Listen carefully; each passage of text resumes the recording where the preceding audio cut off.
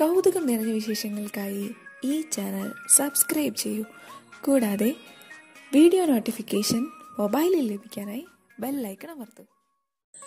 മരണശിക്ഷയ്ക്ക് വിധിക്കപ്പെട്ട കുറ്റവാളികളുടെ ശിക്ഷ നടപ്പിലാക്കുന്നത് പുലർച്ചെ സമയത്താണ്. അതിന് പിന്നിൽ ഒരു കാരണവുമുണ്ട്.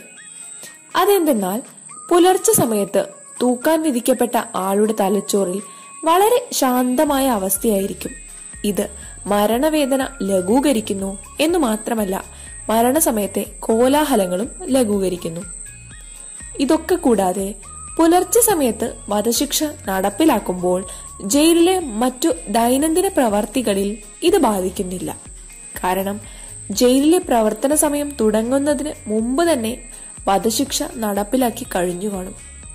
കൂടാതെ വധശിക്ഷ വളരെ പ്രാധാന്യത്തോടു കൂടിയായിരിക്കും സമൂഹം നോക്കിക്കാണുക. അതുകൊണ്ട് തന്നെ തൂക്കിലേറ്റിയ വാർത്ത കേട്ടു വേണം ജനങ്ങൾ ഉണരാൻ എന്ന മനഃശാസ്ത്രപരമായ ഒരു തീരുമാനവും ഇതിനു പിന്നിലുണ്ട്.